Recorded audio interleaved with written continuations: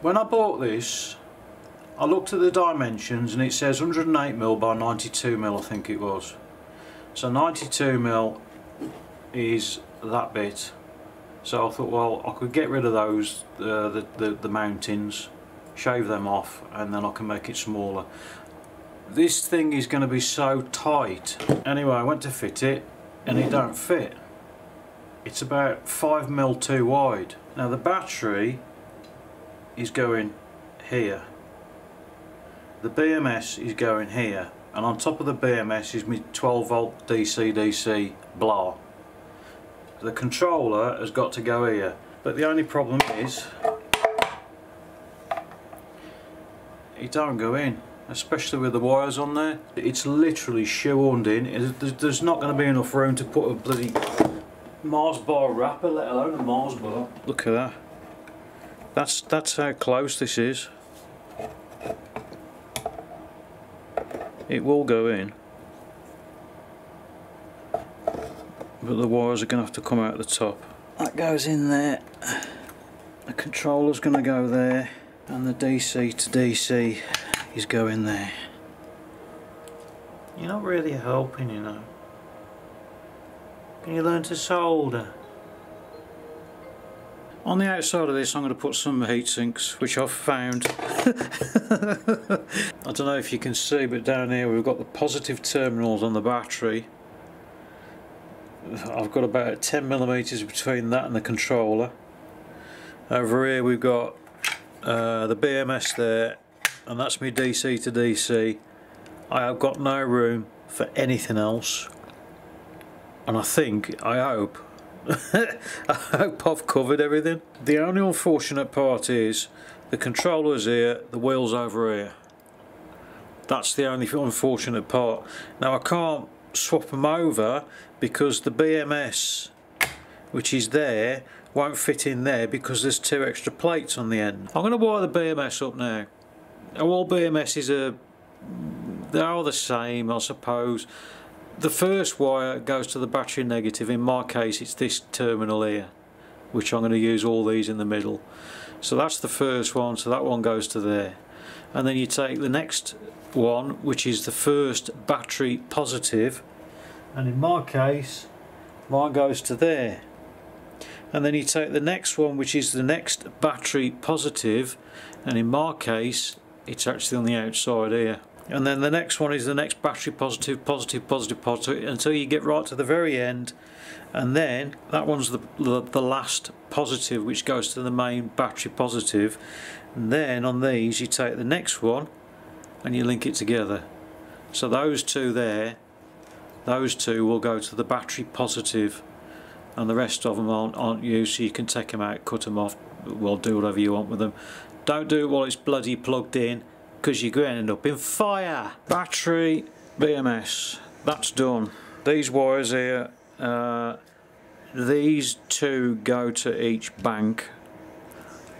I don't know why I've put two on there, I've just put two on there, it don't matter. Uh, they're going to be joined into one anyway. The controller's going over this side, so these wires are going to be very short anyway. This one here is for the DC to DC which is going to go over on this side. So that's going to go over there. Obviously these are the negative ones which are going to have to go over here which I've got to tape down but I want to do that when it's in the in the casing itself in the chassis purely because of this thing because I don't exactly know where it's going to sit and I might have to butt the batteries up a bit closer sort of thing. So that's that. So that's all done. And working. Cable management is done. I need to get the chassis or the casing or whatever it's called. I need to get that back up here so I can fit this in and then I can fit this in and then I can start the wiring. Although I do need to put the motor in first so as I can make sure that everything works and it doesn't throw any errors up. Uh, unfortunately I should have tested this first. Oh dear. Why didn't I test it if it's broken I'm in trouble. Before I do that I've got to take the buzzer off this because I need it external because you cannot, well, it's virtually inaudible. Is that a word? you can't really you can't really hear it when it's in the case especially in a in a in an aluminium case so I'm going to take the buzzer out of that and I'm going to extend it where I'm going to put it I don't know but I do need to extend it so I'm going to do that now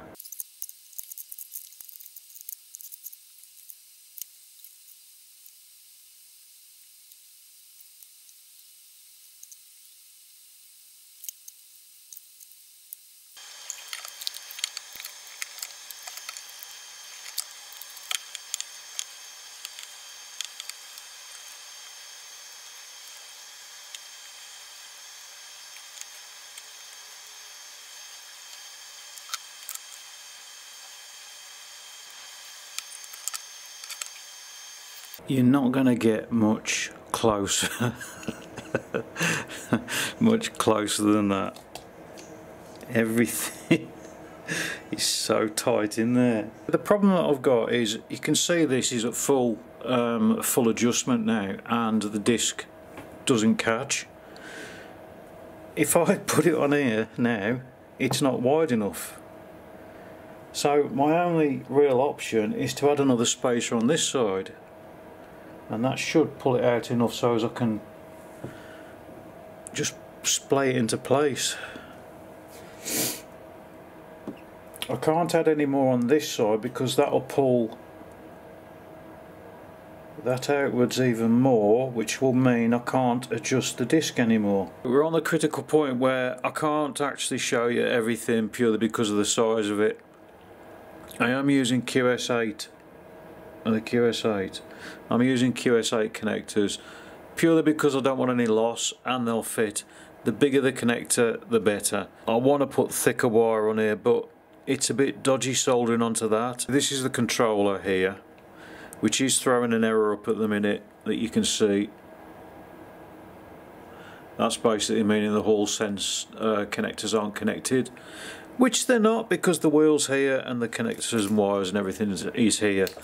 So what I've got to do today is I've got to connect the motor to run it up. Now this is only temporary, there's nothing permanent on here at all, it's literally to get the wheel off the ground. I've got to cut the phase wires off here, I'm going to loosely wire them, just twist them together just to make sure I know what's what. Uh, the Hall Sense wires I think I might do the same and put some insulating tape around them. Or I might be able to shove them in the holes there actually. Okay this is the nervy part. So what I've got is um, let's turn that off. I haven't fired this up yet. So on here we've got the throttle which are three wires so you've got the black the red and the green which go to the corresponding wires on here. And over here we have the kill switch which is that one there which is in manganese. And then here we have the Hall Sense wires so you've got your positive and your negative. And then you always have well 99% of the time a yellow a green and a blue which go to the corresponding ones on the on the phase uh, sorry on the motor on that thing. And then we've got the three wires which are the phase wires which are the thicker ones so you've got one going to green to green and then blue to blue and then yellow to yellow. Now I've turned it on just to make sure that these go to green but I haven't done anything with the throttle yet because I'm a bit nervy. So if I turn that on that now goes to green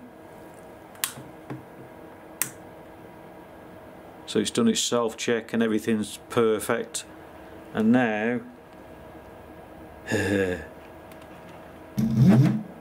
wow, it turns.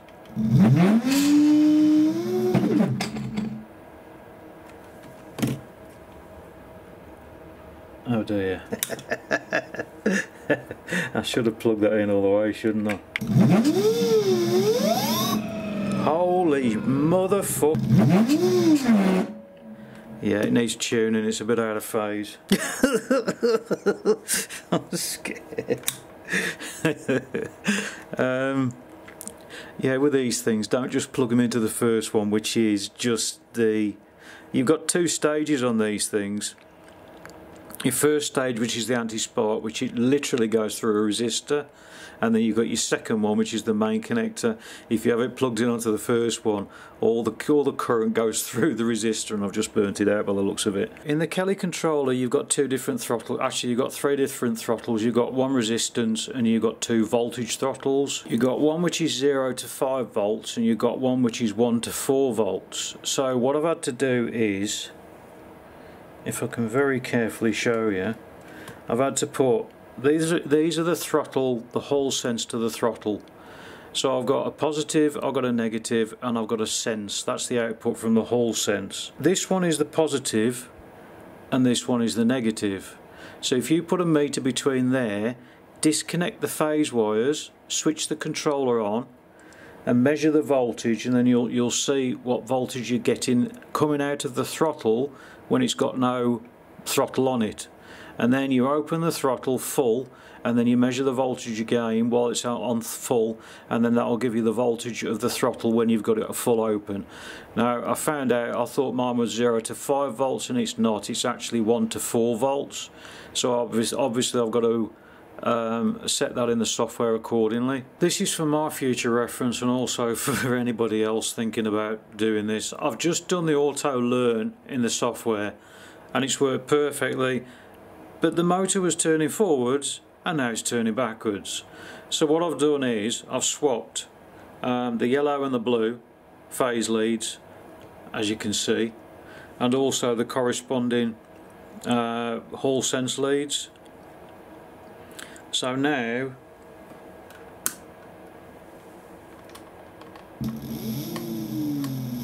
it's beautiful and smooth.